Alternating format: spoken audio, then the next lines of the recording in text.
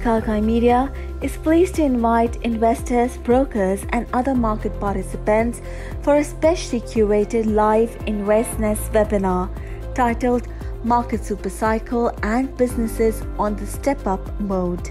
The webinar will be conducted on 15th March 2021 straight from Sydney, Australia.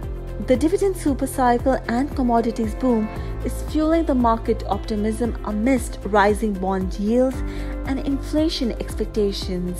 Several ASX players appear to be in sweet spot leveraging burgeoning prospects in the emerging sectorial trends. Businesses with strong operational and financial footings thus deserve closer attention amid broader sectorial trends. Kalkine Media offers you great opportunity to learn more from the subject matter experts and get exclusive insights on the business vision strategy and the latest achievements.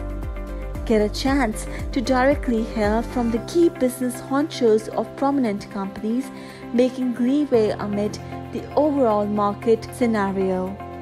These names include Rod Sherwood, Chief Executive Officer at CV Check, Corey Nolan, who is the Managing Director at Platina Resources, and Mark Wallace, who is the Director at Renegade Exploration.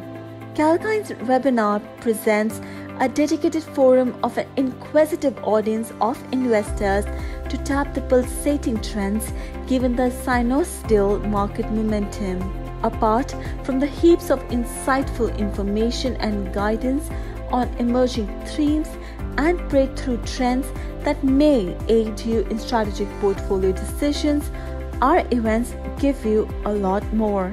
You will get an opportunity to participate in an interactive question and answer forum to acquire information on operational and financial aspects. So, join us on this exciting journey in our upcoming webinar. Save the date and book your slot now. Kalkine Media will see you on 15th of March at 12:30 p.m. AEDT. The registration link is mentioned in the description below.